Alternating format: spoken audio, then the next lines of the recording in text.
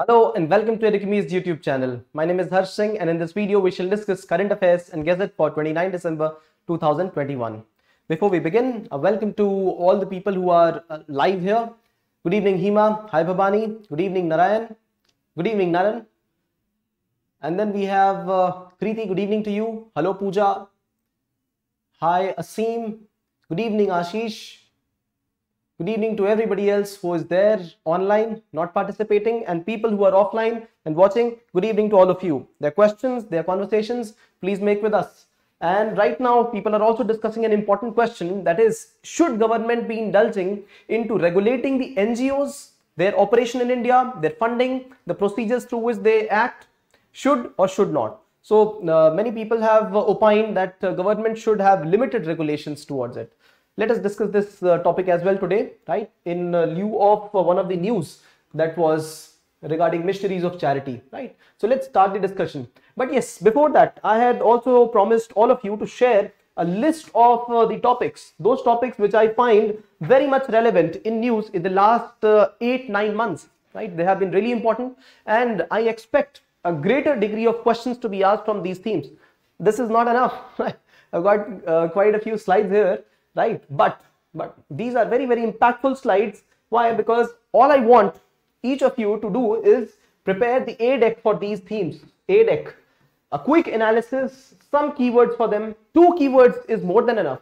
Some data and some examples or cases. One or two example for each of them. One a couple of keywords. One analysis if it is a twisted analysis if it is a straight analysis the data and keyword itself will help you to analyze it right? So positives or issues related to it right? We have covered many of these themes in the uh, current affairs videos and i would like to quickly share this list so that you are able to understand what will come in the exam in the next week or not right? Next week itself is the main examination. It starts on friday. Saturday and sunday we have the uh, uh the uh, the segments for general studies paper 1 2 3 4 right so uh, these are the segments. Now, even if questions aren't asked directly from these segments, these still become relevant. Why? Because they were in news. They were in news. For example, railway freight. It was in news because of the COVID times, right? Uh, sugar industry, very much in news. Always in news, but yes, this year also in news.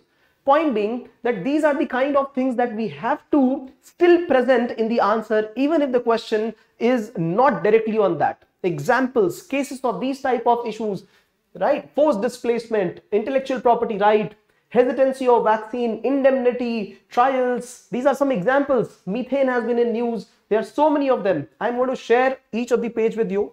And the point is that even if even if the questions directly do not come, the examiner knows these themes only because they have been in news. So you have to exploit, we have to utilize our skills for them to know that yes, I am aware of these themes as well. So you have to put them as examples, right? So this is the first page, right? We have studied most of it. Learning gaps in education, road safety, blended learning, e-code performance, master plan for Delhi, IMR, MMR, fly ash, displacement report. This is the second page. The third page is food fortification, rare earth minerals, all the four important uh, laws which are in question all the time AFSPA, UAPA, blasphemy, sedition laws, all these uh, historical events which have formed either centenary or 25 years silver jubilee, golden jubilee, right? 1991 reforms, they have been in news. Urban cooperative banks, vehicle scrappage policy, tribunal reforms issued with China. Then we have uh, many other, uh, you know, important themes. Poshan Abhiyan, Swachh Bharat, Nobel Prize, we discussed all of them. Security versus privacy, river right? Uh, interstate issues like assam mizoram issue nagaland issue river issues between southern states. This is another page. And the last page last but one page right? Some bills which have been very much in news these days. Nuclear energy in the country cryptocurrency urban flooding arc right? And this is the last one. Child marriages intimate partner violence orphan children. The minilateral organizations formed this year right the credibility of international institutions of repute being questioned this time, right? Laws which are against women in the country, right? NBFCs, judiciary executive relationship, performance of legislature, these are the issues, right? So I hope that you have taken a photograph of this so that you're able to create, uh, you know, your repository on this. You know this, and many of the issues that you study all around will get covered. Your confidence level will boost, and if you are able to revise these, uh, you know, this is a matter of a couple of days. Just two days it will take you for you to prepare, you know, uh, a deck on all these. And you revise this one or two times, it will be there in your head. This will keep on repeating. Many of the themes will have incidences with these themes. That is why I shared this list right? So let's begin with the current affairs segment. Good evening, puja Good evening uh, to everybody else, right? Screenshot. All right. I hope you are able to take. So um, your daily guide to UPSC current affairs is here. The first news snapshot for today update is on FCRA guidelines, right? Foreign Contribution Regulation Act, which was amended a couple of times, 2010, 2020. And what has been the agenda of amending this? What has been the news lately that relates to missionaries of charity? Then the second one is uh, RBI's annual trend and progress report, which talks about the present position of banks, NBFCs, and other organizations. The third one is star rating for garbage free cities, right? Uh, so one star, three star, five, seven star ratings have been designated for urban areas, but there is also a fixed fixture of what is the minimum that is required of an urban area. Minimum is three star required, but many urban areas are not able to fulfill that condition. We will understand the star ratings quickly. Then we have uh, this day in history dedicated to uh, the niece of uh, of of uh, um, the person who held the Nobel Prize for Literature in India. Who is that man?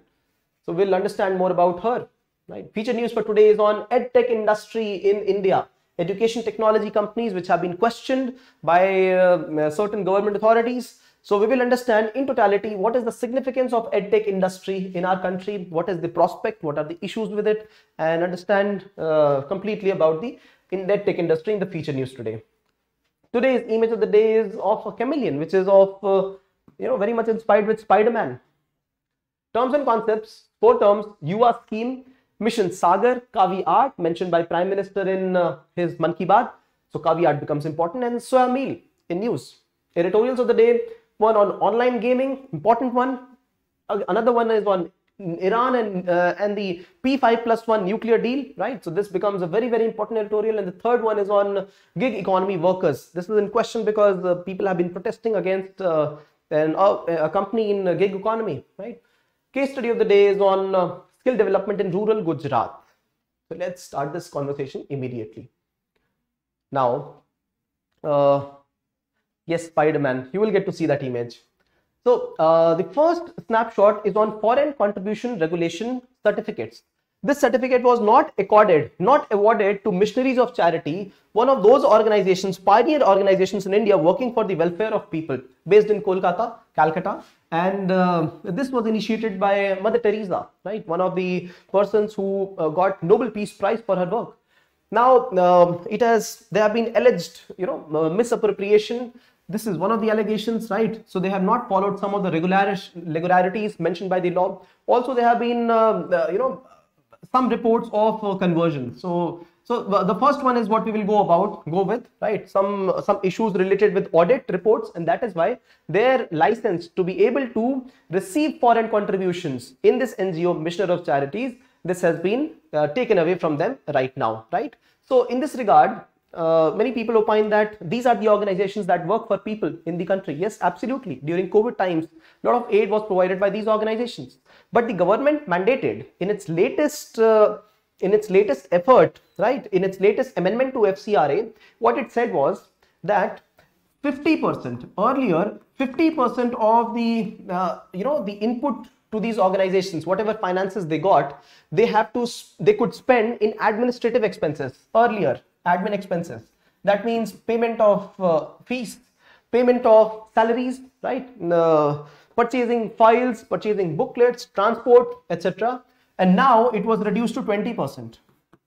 Right. So this is one of the amendments that was done, not now, but the last amendment in 2020. Right. This was one of the amendments. Another amendment which was done was that that all the organizations will be opening bank account with only one bank in the country one bank in the country that is based in new delhi one of the sbi branches right so they wanted to scrutinize the details uh, very carefully now the agenda behind the first one was that the expenses to be done should be more for. So 80% of expenses should be spent for developmental activities, not on administrative expenses. Why are you spending so much on administrative expenses, paying people, transport expenses or office expenses? They should be reduced. So many organizations in the garb of spending on administration, working of the organization, they, they get into funding of illicit activities right which are which question the integrity and uh, unity of the country this was also reported uh, back uh, in the last to last government when nuclear power was receiving a boost in our country Jaitapur right it was found through intelligence reports that uh, organizations international organizations are funding the domestic organizations domestic ngos so that they are able to uh, you know host uh, some revolt to the nuclear power so this was the context in which the first time amendment was made and then another amendment was made later. Then we also had Greenpeace, right, which, which faced severe regulations of the same sort, right, regarding many of uh, you know uh, many of its uh, revolts. So this is like a mix of environment. If you get into the you know roots of it, this is about environment versus um, versus economy debate. Economy and environment debate. This is what uh, is the root of it, right? the what are the uh, you know global forces trying to do global forces in in with keeping yahan par iske environment ke kandhe par bandook laga rahe hain and they are hitting at the economy of the nation this is what is being uh, you know uh, said by the government in many many cases that if the global organizations are funding if they are funding some kind of protest in the country through some ngo in the garb of uh, having environmental rejuvenation, environmental disturbance, the economy is the one which is suffering and government wants economy to grow. So this is why they want the greenfield projects to run. Bachao, nahi pehle to green projects honge. They want this, government wants that its uh, development projects, right, power projects, they should run, right. So many other projects should run. For example, is uh, mining, quarrying, right? Uh, so uh, whereas people in tribal areas, people in those countryside, they are revolting and NGOs are supporting them. Government says curtail this kind of funding. So this is one, curtail the funding to 20% so that we understand rest of the 80% is spent only for development activities. Right, this is the first one. Basing in Delhi, the center is just that government should be able to regulate all the activities, know where are the fundings coming from. Right? There are a couple of more uh, you know changes. We will quickly discuss them also. Right? So this is why this ngo has been questioned right now okay so uh, uh, also also these ngos what happens is that these bigger ngos they fund smaller organizations at the grassroots so that they keep operations alive right? Because they are at a pan global level right? So when they fund two three organizations in a place like uh, say raipur in a place like ranchi another two three organizations this is where the norms have said that you will not get into funding in funding the other smaller organizations. You will be into direct funding. This is where the operations the grassroots operations of these ngos they get curtailed right? So whether it is good or not yes this is definitely a question. So uh, these are the new things that have uh, been in news right? Okay, see cap on administrative expenses. This is one. Mandatory identification. And yes, all the office bearers must identify themselves uh, through Aadhaar and through their uh, identity cards, right? And they should not be able to transfer funds to uh, these smaller NGOs working at the grassroots level. These are the updates here, right? So uh, what should be done? See, when you people have frankly told me your opinion that government should take a middle path. Yes. So the middle path is something like this identifying those NGOs which cause mischief. There are thousands of NGOs. There are thousands of NGOs whose license has been cancelled because they would not uh, submit the quarterly report. The government has later asked that every NGO will submit a report in three months. Every three months, they'll submit a report of their expenses.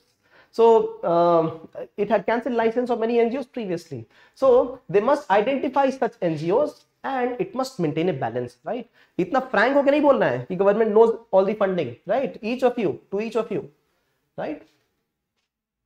Subtle hokar and then also you know when you are criticizing you also present a constructive point how to improve this and how they are enabling the country. As you mentioned covid times where they have worked. They know the grassroots of the country right? They have a wider outreach. They also use the local forces. There is less bureaucratic hurdle, right? Use these kind of points to highlight your uh, perspective, all right?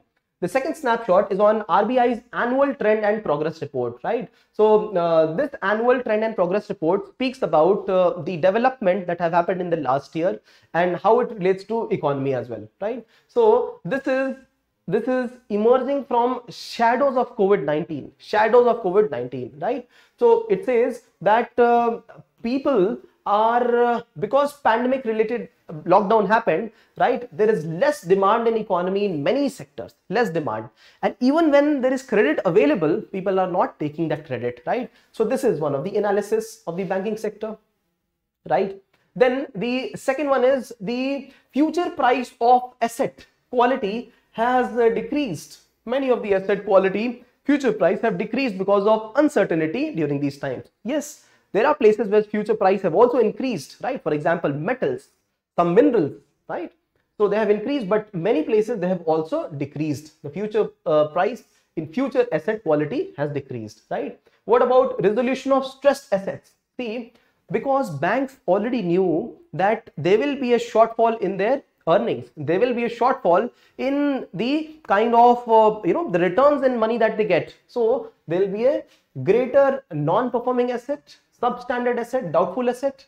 And because of this they already made provisions. They already made kept a certain amount in their asset and liability so that they are able to tackle the non-performing assets and because of this the stressed asset in the bank the liability that the banks had it has moderated right? Bank debts have moderated while provisions, coverage ratio, capital buffer and profitability indicators have improved relatively to pre-pandemic levels.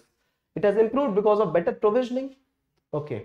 And also something called as pre-pack insolvency resolution, pre-pack resolution we have studied pre-pack resolution previously. What it wants to say through this is that, see, there are, there are two types of insolvency resolution. Corporate insolvency resolution plan and the other one is pre-pack insolvency resolution plan. So in corporate insol insolvency, the procedure for insolvency, in case an organization goes bankrupt, is normal. It goes through a normal procedure. Whatever is there, it is standard for everybody. But in case of pre-packed there is a predetermined agreement that the organization will not be sold. This is only an example. Organization will not be sold. The board of directors will not be changed. We can take loans from these places and this is how the administration will be done. So pre-packed, there will be no new terms, only pre-pack terms will be considered, right? So because of this, because of this, there are a lot of things which have simplified during resolution. Then impact of climate change has uh, issued something called as go green bonds right green bonds and because of green bonds RBI has also come into the network of greening of financial systems RBI introduced itself to this organization in this year itself a very fruitful organization for environmental social governance ESG green bonds.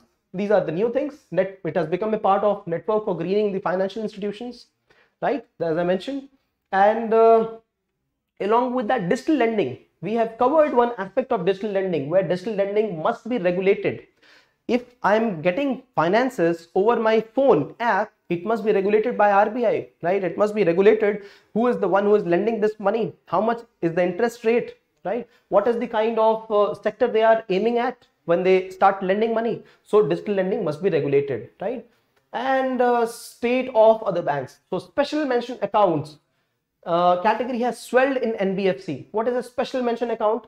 Special mention account is that account where the money which is probably going to get into non-profitable assets, non-performing asset, they should be pointed out, right? Special mention account. So they have swelled in the NBFC category, yet NBFCs have also grown, outgrown, right? Because of their wider outreach, because of their reach, right? Regarding small finance bank, they say that they must start to diversify their investment regarding payment banks there is a uh, there is an opinion that has been shared that is the operational cost of payment banks has increased. It must uh, decrease. We have studied differentiated banking in one of the featured news. The prime difference between small payment bank and small finance bank and the payment bank is that payment banks are used for transfer of remuneration from one place to another and small finance bank for micro lending to, to the MSMEs, right? Okay, so this is the complete picture of uh, uh, you know review of banking sector. Cooperative banking sector has emerged relatively unscathed, but we know that urban cooperating has to improve, right? If you remember, we had studied this in the feature news. So see, we have covered cooperative banking, we have covered the uh, coverage of differentiated banking, small finance bank and payment bank. We've also understood the NBFC have managed to do well, right? Digital lending regulation must be there RBI and other banks should be getting into green bonds, green financing. Then what about the stressed assets of the bank? There's a conversation on that. And um, what about the credit? Credit availability is there, but people are, uh, you know, there's a de decline in demand of the credit. So this is the complete summary of this uh, report. Okay. Okay. So Kriti asks me a question but sir, could this not lead to selective targeting, selective targeting of the people? You're talking about the NGOs. Okay. Uh, yes, yes. But in that case, the government needs to point out the, you know, the issues. It can point out the issues. The point is, in place of having a legislation which does more harm to all the NGOs, let us understand with proof what are the issues with some specific NGOs and then deal with them, right? According to the norms not targeting an NGO, but targeting that NGO which is not functioning well, right? So instead of uh, having a blanket norm for all the NGOs, let us have that particular norm which is applicable for that specific NGO and uh, which is not uh, doing well. So let us uh, curb those NGOs. There have been reports by intelligence that several projects could not, uh, you know, uh, get initiated by the government because of foreign funding and and you know protests thereafter. The third uh, snapshot for today is on star rating for garbage free cities. See, there has been a renewed focus on um, the urban clean India mission, right? Swachh Bharat mission in urban areas. Now, uh, we lately knew that uh, the urban Bharat, uh, you know, the Swachh Bharat mission 2 also got initiated. So the idea here is that these star ratings are going to enable a city to become better and better in its uh, cleanliness and uh, sanitation services. So three star rating is awarded to that place only which has fulfilled some basic category, basic criteria and is uh, free of uh, uh, the, uh, you know, the uh, open defecation, right? So these are the, there are many parameters on that, right? So you should look at this smart rating. This is a very good acronym as well. So smart rating says that the first parameter is single metric. A single metric should be used for all the cities in the country, right? Measurable, there should be measurable targets, tangible, measurable targets. What is the percentage of waste processed? What is the percentage of door-to-door -door collection? If you remember, in the Swachh Bharat Mission 2, the government is focusing more on processing the waste which was already collected. Those vast swaths of waste which have formed a dump of uh, mountain those needs to be processed. So what is the measurable waste processing that is done? And a single metric for measuring all of this. Achievable targets right? All parameters are, are based on citizens expectation right? So have achievable targets. Do not talk about 100% if it cannot be done achievable targets and rigorous verification. Verification by persons people public and third party right? Independent verification of achievement and targeted towards outcome right? So some outcome also should be there along with the output right? So very very very efficiently done. Now you can remember this and this is not only applicable for Swachh Bharat mission this is applicable for any mission. Any mission in which India wants to look at tangible growth right? Output oriented growth single metric for the whole country, measurable targets, achievable goals, verification of what has been done, accountability audit, and then looking at the outcome, right? So this is how we are also looking at garbage free status for many of the urban areas, right? So uh, if we receive uh, three star, then uh, you know the city is also enabled in a in a quite uh, good way. So every urban local body should have at least three star garbage uh, free status, right? This is the requirement. Currently, it is not so because many of the urban areas also have one, you know, one star rating, right? 147 cities. So uh, this is the new uh, initiative uh, through good governance initiative of the country. When you look at uh, this image, this image also helps you to understand the whole process. So the first one is declaration by city. Yes, the city has to declare by itself whether it has been able to achieve these targets or not. And if it is able to declare, people go by, one has to go by trust also over here, right? So they give the star ratings and then certification by state, third party assessment, and then certification by Ministry of Housing and Urban Affairs. See? So this is how the star rating process will work. Seven star includes over the top aspirational criteria such as beautification and reduction of waste generated. See, so when you look at one star, three star, five and seven, there are many parameters in that. The parameters have been reduced now. But if you look at seven star, it means that we are beautifying, doing something extra for the city. We are reducing the waste only. And three star, five star relate to processing of waste, enabling an environment where uh, the waste generated is collected, it is processed, right? Open defecation is eliminated, three star, right? One star is for cities with least of these kind of uh, things. So this is what this uh, garbage uh, free city initiative is about. Okay. This day in history dedicated to, oh yes, I had a question. Who was the one who got this award, literature award 1930s? It was Mr. Rabindranath Tagore and she is the niece of Mr. Rabindranath Tagore, right? Uh, Indira Devi uh, Chaudhurani, person with many many talents. And if you speak of these times before independence not a lot of females were uh, empowered as much. You should remember these kind of names because uh, there have been questions of how women have participated during the freedom struggle or how women have been culturally very empowered educationally as well. She was empowered in the culture sector as well. So she knew music and literature very well. And not only that she also knew language very well. So also involved in uh, translation of many of the books. We are talking of Indira Devi Chaudhurani. She was the daughter of Satyendranath Tagore and niece of Rabindranath Tagore. And he was Satyendranath Tagore. If you remember, we have discussed him. Can you tell me his the contributions? Satyendranath Tagore, she was his daughter.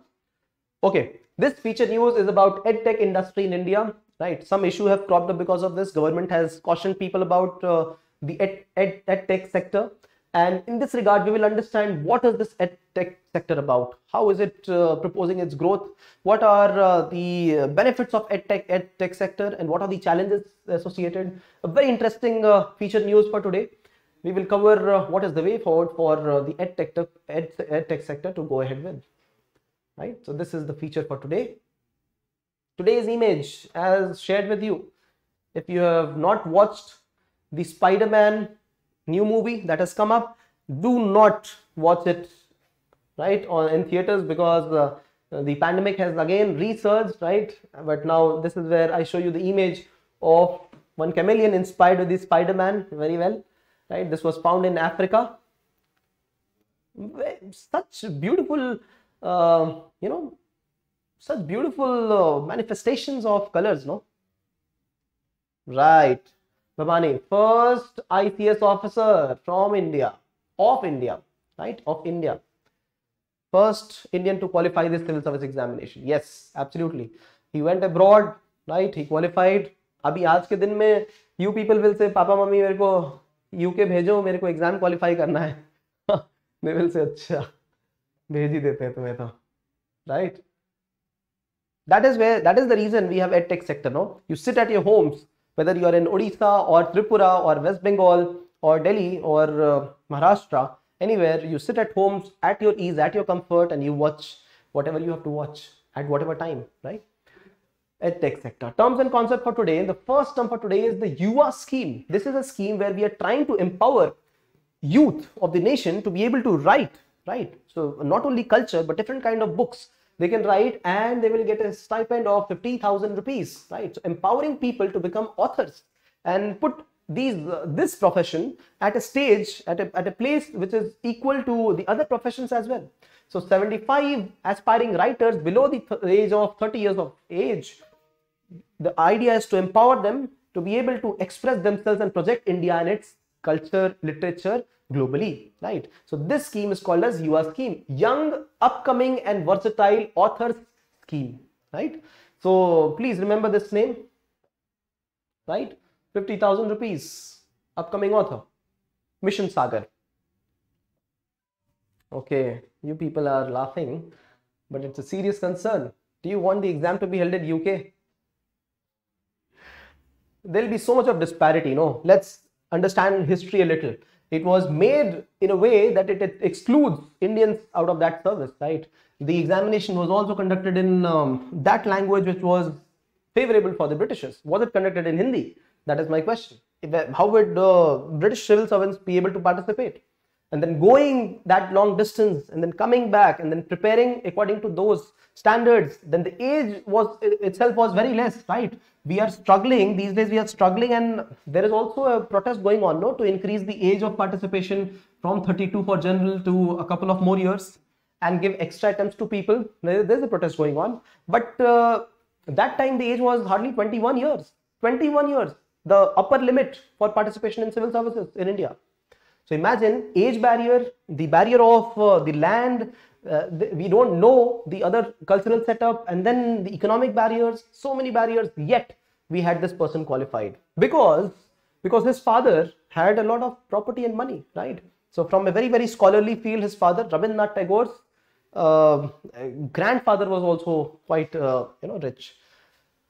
Okay, Mission Sagar. Mission Sagar is in news because INS Kesari, Indian naval ship Kesari, it has delivered certain kind of goods, services to Mozambique, to Mozambique, a country on the eastern coast of uh, Africa. You see, south of uh, Africa, here is Mo Mozambique, just, just below Tanzania.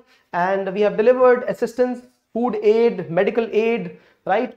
COVID assistance, medical oxygen, concentrators, many of these things to uh, Mozambique now, right? We have also delivered it to many other countries, 15 friendly foreign countries over 215 days at sea, right? So this mission Sagar is uh, Sagar, you should know, secu security and growth of all, right? Especially in the Indian Ocean Rim Association region, right? So this is one of the initiatives where uh, we are delivering COVID aid to all the countries. Now, this could come as an ethical question for you.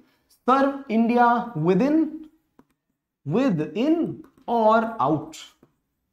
Or how to balance? So do not only look at it from the perspective of ethics, but also think this question can be asked in paper two, governance, international relations, strategy for India, right?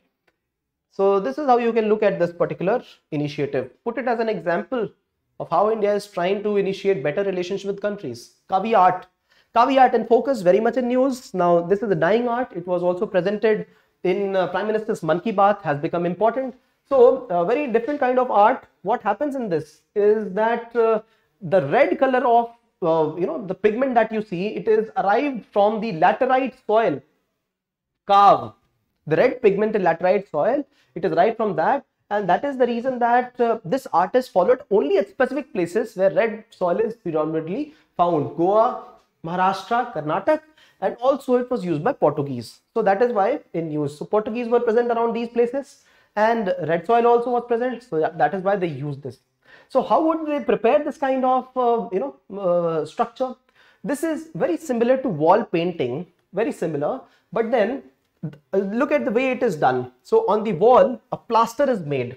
A plaster is made on a white background. In the white background, this red plaster is put, right? It is put. And this red plaster is a combination of several things, right? So seashells obtained from burning seashells. This is one, right? Then jaggery and then uh, sand also. So these would be the inputs into this. It would be put on the wall and then this mixture is allowed to ferment, ferment for a while and then applied to the wall with water. After, after some time, it is also curated with water, right? And after some time when it is dried, it is finally carved out. Certain elements are, cut out and this is how this design is achieved. So this is how Kaavi art you know that was existent during those times. Now it's a dying art but it's in news because people want it to get rejuvenated right? So this is how kaavi art is in news. Important.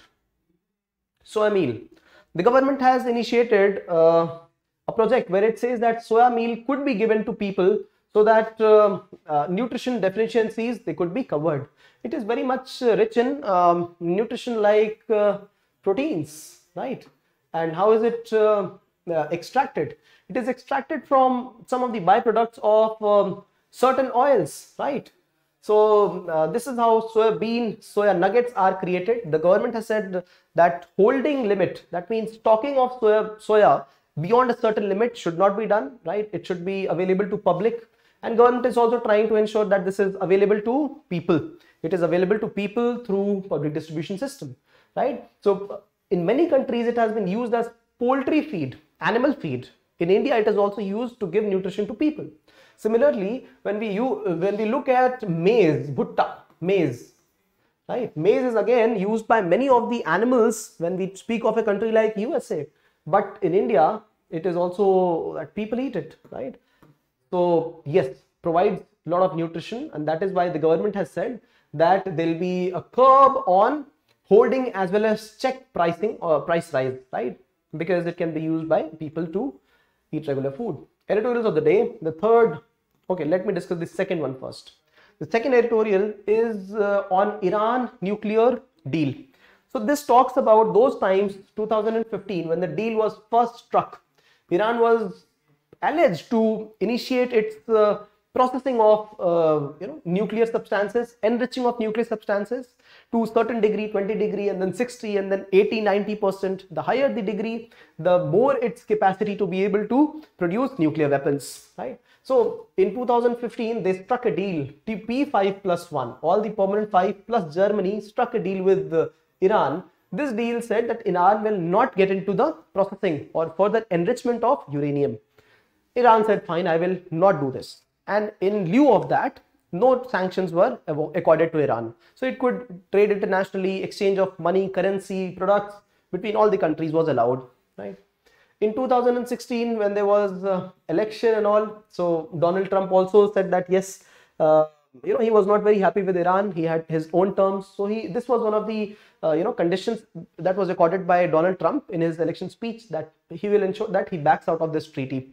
Joint uh, comprehensive plan of action. This was the name jcpoa he said he would back out in case iran does not adhere to some norms that i set forward. The norms after his election, so he, he actually backed out and he imposed, reimposed sanctions on Iran. Sanctions from USA, not sanctions from European Union.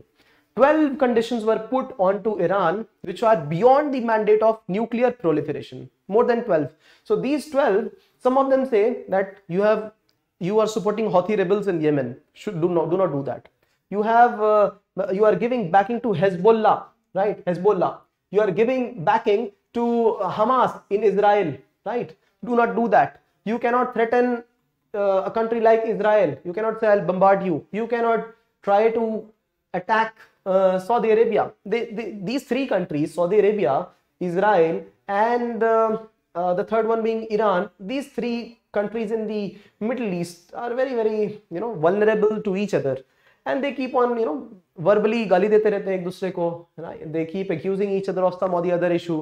So America unilaterally says to Iran that you should not be doing anything because I am the friend of Saudi Arabia, I am the friend of Israel. Right? Iran, of course, would not agree to this iran has no problem in uh, carrying out further enrichment in fact iran already has got 25 kilo plus of 60% uh, uh, enriched uranium it has got hundreds of kilos of 20% uh, enriched uranium and nobody stops iran from getting further. The point I'm mentioning here is Iran is not at a disadvantage here. In Iran has already learned to handle the kind of sanctions that USA has put. So to ensure that the Middle East region does not get you know further vulnerable to instability, to a race of nuclear proliferation, USA and other countries must stop Iran at any cost. Barack Obama, the ex-president, has already said that this was a mistake by uh, the new administration to have excluded uh, Iran or gone out of the JCPOA. So uh, nothing for Iran to lose, but lot for the stability to you know uh, to lose in the Middle East region. Because if Iran becomes nuclear powered, then Saudi Arabia also want to. Then Israel already declared, but it is not openly declared. Israel also would get into this. So this is not a future, uh, you know, great deal for the future. So we are talking of a roadmap before time runs out. See, and there has been a no there's been no development right now so america must learn to handle what it wants to speak about right have only nuclear non-proliferation in the treaty not extra arrangements the second editorial is on um, online gaming in India that needs regulation. See, there have been legislations now. They have started to talk about game of chance and game of skill. There are certain games which are game of skill, right? Example is PUBG. I would play this game two years back. I stopped playing it later. Very, very addictive. And game of chance, right? There are several games. For example, uh, uh, you know the dice the game of dice is a game of uh, chance but yes if there's strategy involved in it then it also becomes a game of skill there are many kinds of game which are present online right so dream 11 creating a team is a matter of strategy and it also is a matter of chance somehow so there has been a complete ban on game of chance right? But there has been a regulation on game of skill. Since many of these games are happening online government also must participate in taxing taxing them. So there are many ethical challenges also because even in a game of skill for example for example online betting online betting happens. And although if considered certain certain aspects of it if it is treated as something that is uh, uh, not about chance something some skill is also used Yet, if you look at uh, the aspect of the actual game in which is being played, so game is being played at some other place and we are betting on that game. This is another game. You call this a game of skill, but this also impacts the actual game, right? So on the spot match fixing, right? These are the ways it, in which it impacts the game. So should we get into, uh, you know, regulating these kind of events through skill-based platforms or not these are important things for uh, the country to address. And that is the reason that we need a gaming authority in the country right? I would like you to read this editorial. Will give you a lot of opinions. I have provided the opinion for this sec for the first editorial that is iran. Read this. It will provide a lot of opinions to you. Go to the website. Read this right? And the third one is on expanding uh, gig economy. It must treat the workers fairly. So recently one organization i'll name it uh, urban company it was alleged that they are not uh, treating their employees very well especially the female employees. So they you know they cluttered out of the uh, out, of, out of their office uh, 40 females of them. And they also blocked the entrances. They started to do the dharna even during evening times they wanted to use the bathrooms. It was not allowed by the company. So there were various issues. Now the point is that since the platform economy the platform that is urban company this platform the app it changed certain regulations which ensured that these people who are a part of gig economy, they had to pay some money mandatorily to be a part of urban company. And then they are not given certain amount of leave, right? They have to mandatorily work also according to their norms. So where is the contract? Not only that, there are many norms that they broke. So this is why this, uh, you know, rebellion was happening. Now, gig economy has got a huge potential in the country. As much as uh, around 90 million jobs it can offer and a good portion of GDP also of the country. 90 million of jobs. So therefore, we must have humane conditions of work, especially for the gig economy workers in the present times. Do not only look at uh, the people who are from a specific group, but look at uh, the taxi drivers, right? Look at the people who deliver food at your home. Look at those people who are uh, delivering e-commerce, e-commerce business at your home, right? Right? Anybody who is a part of the contract based employment, see the new term being given to this kind of employment is not contract based and it is not a full time employment. This is called as fixed term employment in many cases, in many cases. In many cases, it is called as contract based. In, in many cases, it is called as a fixed term employment. So people are employed for a fixed term on contract. If they perform well, then they are you know uh, their contract is extended for another ten tenure so this is the midterm that the government has looked at. It's fine even if the government is looking at it but then at least provide uh, you know fair conditions of work for the employee. So this is the update here. Right. If you like this initiative do share some love on us through likes likes comments and shares. Subscribe to this channel. You will receive amazing updates for many of the interesting videos. Right so uh, uh, we have today's case study. Today's case study is on skill development in rural Gujarat, right? Many of the people have, it was found in research, NCRB conducted this research to found, to find National Crime Records Bureau to find that many people died because of uh, stress, because of uh, issues of unemployment and distress, right? So people committed uh, suicides, accidental deaths happened.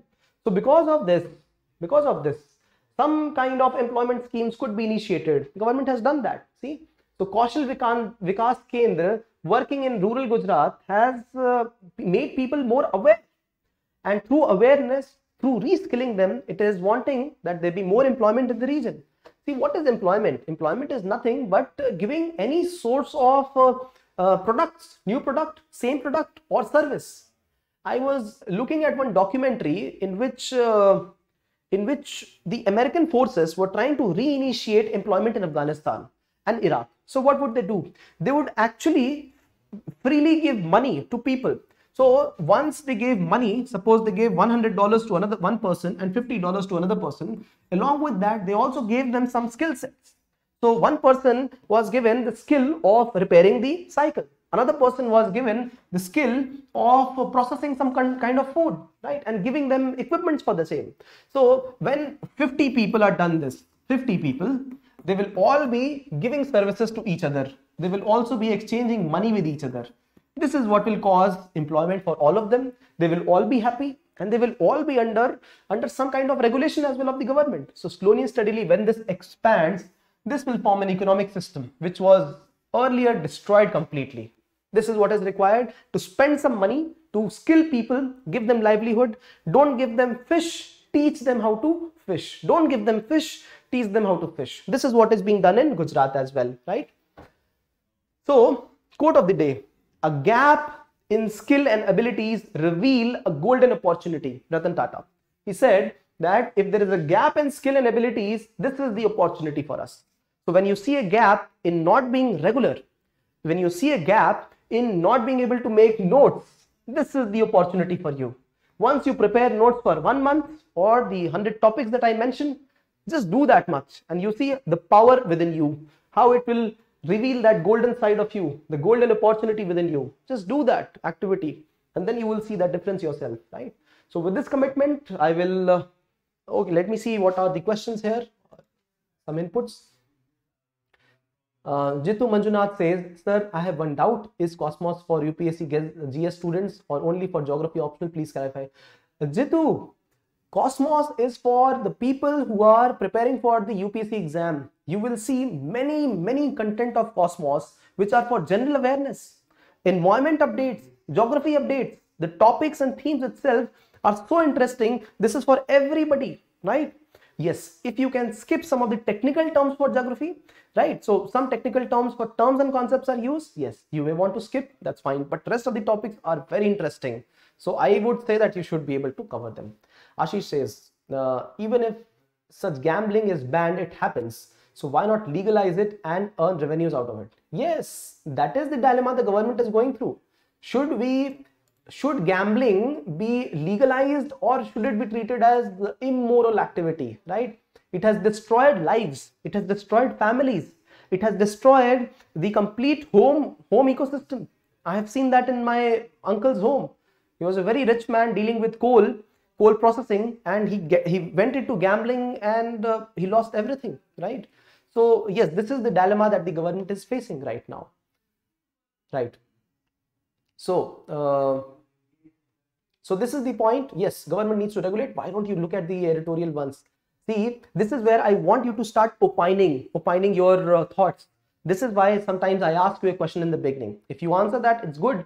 Otherwise, these editorials will generate opinions for you, right? And this is where we balance these opinions and then put them forth when the question is asked to us. All right. So I will see you then quickly in the next uh, feature news that is on a very interesting topic what we deal with EdTech sector right? So see you in a short while. Thank you everybody for being a part. The questions please put them down. I would like to see you very quickly in the feature news video. Thank you for watching